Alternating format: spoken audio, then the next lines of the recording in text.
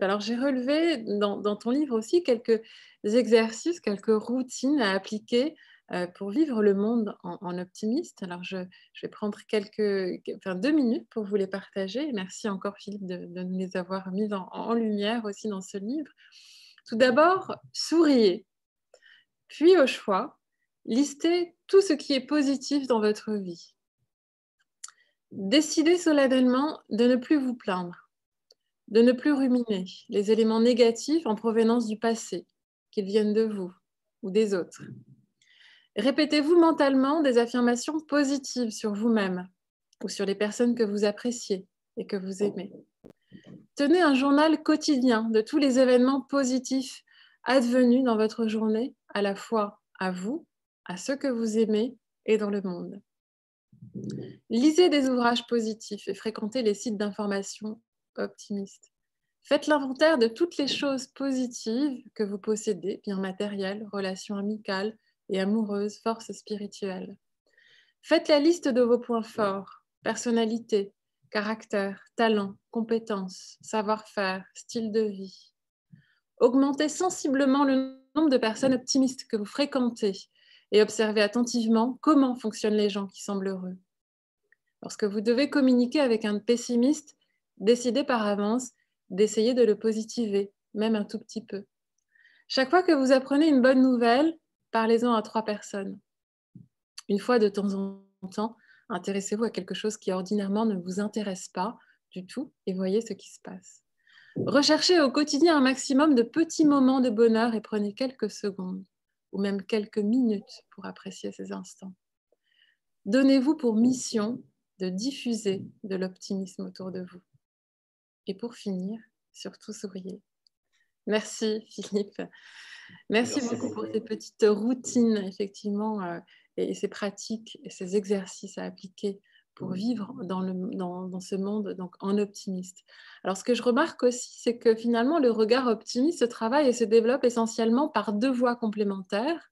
Donc, l'imprégnation, c'est ce que tu appelles l'imprégnation optimiste, complété par ce que tu appelles le débat intérieur positif. Pourrais-tu peut-être nous en dire plus? C'est ce qu'on vient de voir à bah, travers cette L'imprégnation, en fait, c'est l'idée selon laquelle euh, euh, on, on, a... La chose dont il faut se méfier, ce que je, je vais partir de là, c'est ce que l'on appelle parfois un peu facilement la pensée positive.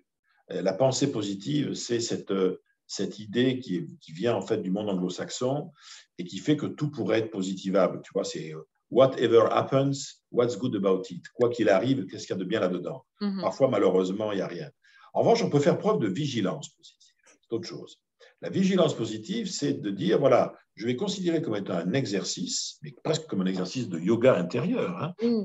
de, de, de me nourrir au quotidien d'un certain nombre de ces choses-là mais parce que comme je serai de toute façon confronté à de la difficulté, à des mauvaises nouvelles, à des choses qui ne vont pas, je ne peux, moi, être armé psychologiquement, ne serait-ce que pour aider les autres quoi, hein, à tenir le coup, que si je me suis véritablement euh, nourri. Si je me nourris trop d'informations négatives, aussi, aussi authentiques soient-elles, hein, aussi authentiques soient-elles, le problème, c'est que si je me nourris d'informations négatives, en plus d'informations négatives portant sur des domaines où je n'ai pas, moi, en tant que sujet, en tant qu'être humain de marge de manœuvre, je suis en train de rentrer, de me faire rentrer dans un processus de rumination et de sentiment d'impuissance. Et, donc, si j'ai un sentiment d'impuissance, euh, ben je, euh, je ne peux même plus remonter le moral des autres avec beaucoup de difficultés.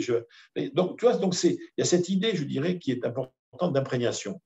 Et cette imprégnation, elle nécessite effectivement parfois, alors, bon, ça, vient de, ce qu'on appelle le mouvement de la psychologie euh, positive, le débat intérieur. Euh, il y a d'ailleurs des thérapeutes ou des coachs qui vont apprendre aux gens à fonctionner comme ça pour essayer en quelque sorte de se challenger soi-même, euh, soit dans sa tête, soit même parfois par écrit, hein, ou en jouant parfois, pourquoi pas, plusieurs rôles, mais être, être à même véritablement, tu vois, de, de se donner le droit de, faire des choses. Parce que la, notion de débat intérieur, à l'échelle de nos vies, elle est, à mon avis, très, très, très corrélée à la notion d'interdit. Mm-hmm. C'est-à-dire que pour des raisons souvent de, de conformité euh, sociale, euh, nous nous interdisons des choses. C'est-à-dire que, on va prendre une, expression qu'on a, qu'on a tous connue depuis que nous nous confinons dans notre propre zone de confort. Et à partir de quand est-ce qu'on se rend compte qu'on est confiné dans sa zone de confort? C'est quand notre propre zone de confort semble devenir euh, inconfortable. Elle nous crée une espèce de gêne. Euh, apparaît le sentiment que, en restant dans cette zone de confort, aussi agréable soit-elle, on est peut-être en train de laisser passer beaucoup, beaucoup, euh, beaucoup de choses.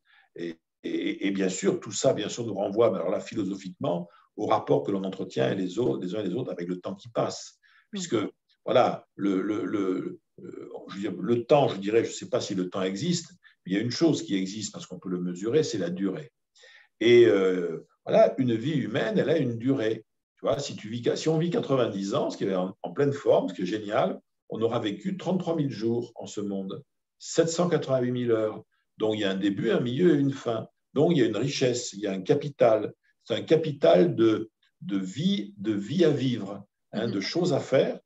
Et, et, ça mérite quand même, par exemple, ça, ça mérite toujours de réfléchir à deux fois avant de renoncer à quelque chose dont on rêvait ou qu'on voulait faire.